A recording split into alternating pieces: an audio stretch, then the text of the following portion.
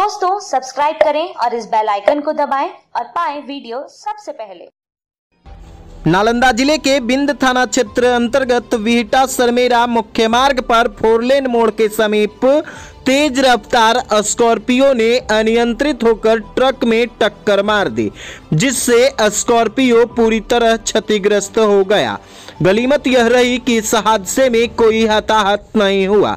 घटना के संबंध में बताया जाता है कि स्कॉर्पियो हिलसा से सरमेरा जा रहा था और जैसे ही बिंद थाना क्षेत्र के फोरलेन मोड़ के समीप पहुँचा ही था कि तेज रफ्तार होने के कारण स्कॉर्पियो अनियंत्रित होकर ट्रक में टक्कर मार दी, जिससे स्कॉर्पियो का अगला हिस्सा पूरी तरह से क्षतिग्रस्त हो गया। वही घटना की सूचना पाकर मौके पर विंद थाना की पुलिस पहुंचकर स्कॉर्पियो को अपने कब्जे में ले लिया।